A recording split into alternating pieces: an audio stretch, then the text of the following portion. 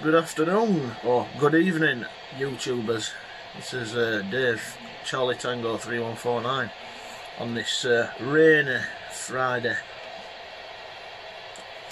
Unbelievable. I haven't, uh, I haven't been up to the spot in a day, but I think tomorrow we're going to get a new upload on. Uh, I've just uh, got a, a new Alan 52 digital squelch version, Midland. Let's uh, let's see if we can pan camera around. Yes, the new Alan 52 digital squelch. We'll take this up to DX spot if it's not siling it down. We've got the uh, the extended antenna. We look we're loaded with uh, already Energizer 2000 milliamp hour batteries and there's eight of them. Bit silly really because uh, on the, the Albrecht handle they have nine that brings it up to about 12 volt and it'll output 4 watts.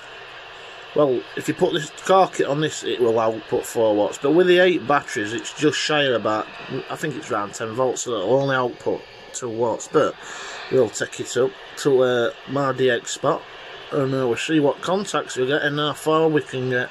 Should be interesting to see the results, seeing as uh, it's a good uh, ASL and good line of sight. Yeah, we'll uh, we'll see you tomorrow subscribe and uh, you'll know exactly when it's uh, video's uploaded. 73s and Roger Dodger.